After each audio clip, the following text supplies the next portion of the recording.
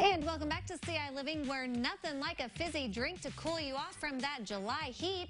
And who doesn't love a small town soda stand? That's right. Well, one shop in our town, Paris, is putting a modern twist on that tradition. And they're doing it with some crazy drink combinations. Let's take a visit to the Fizz. You will walk in there, and if we have some downtime, someone's like, hey, I wonder what happens if we add cheesecake to lemonade.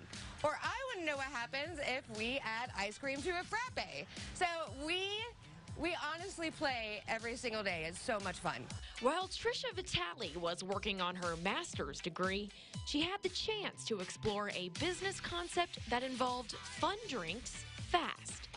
When she opened the Fizz in Paris in May, she made her dream a reality. But this is no coffee shop or soda stand with ordinary fixins.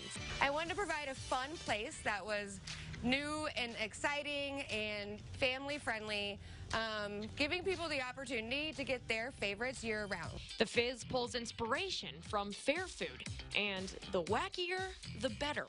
We're talking colorful beverages topped with whipped cream and candy, and bases made up of lemonade, tea, coffee, soda, and even energy drinks. We get to go to the fair, right, or the carnival, or go on vacation, and you get to have the slushies and the snow cones and fun, exciting drinks. But you don't get to do that every day. So the Fizz is all about bringing joy into this crazy world by providing that opportunity each and every day. As a drive-up drink stand, the Fizz focuses on their speedy service.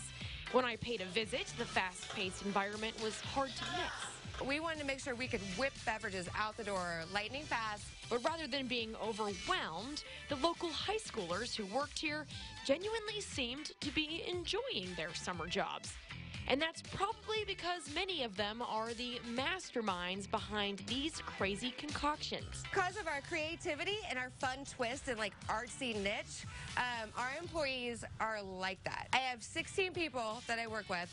They're all very talented and artistic and every one of them play a part in making our crazy beverage creations. Trisha encourages her employees to create what she calls rocking suggestions, which are drinks named after popular songs. So, what do teenagers come up with when they're given dozens of mix ins and all the freedom in the world? Well, I just had to ask.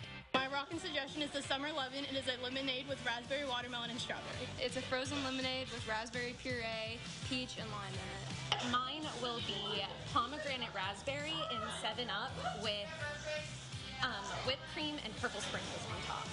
In our town, Paris, Erin Valley, WCIA 3, your local news leader.